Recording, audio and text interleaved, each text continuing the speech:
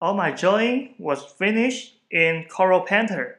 However, you can also draw with your pencil and your sketchbook. There is no special requirement of tools.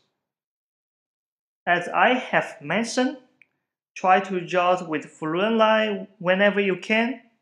Now I start with simple lines in geometry form.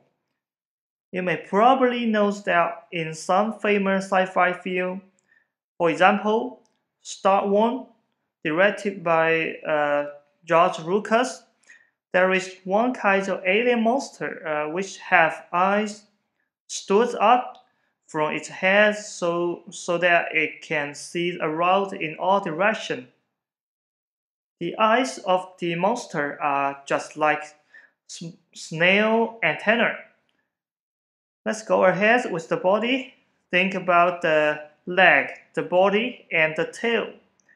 They must be so different from animal you see every day in your daily life.